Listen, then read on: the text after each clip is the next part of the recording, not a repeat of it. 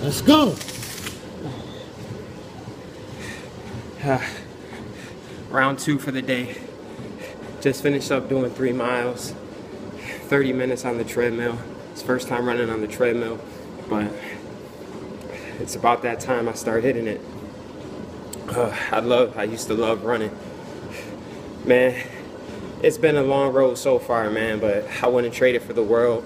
Um, I've been doing Insanity Max 30 during the day and been going either lifting or doing hardcore cardio or running at night.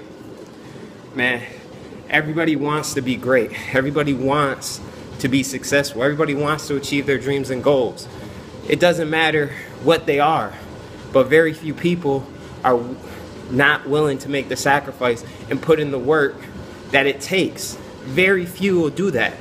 And I'm doing it. And not only am I going to do it, but I'm going to document it so I can inspire other people to do it. I'm just an ordinary person who hit rock bottom and I was sick and tired of being there. And I only could go up from there. That's where this journey started from. That's where this was inspired from. And I'm going to I'm going to reach it. I'm going to succeed. I don't care what anybody says about me. I don't care what they say. I don't care. I'm too old.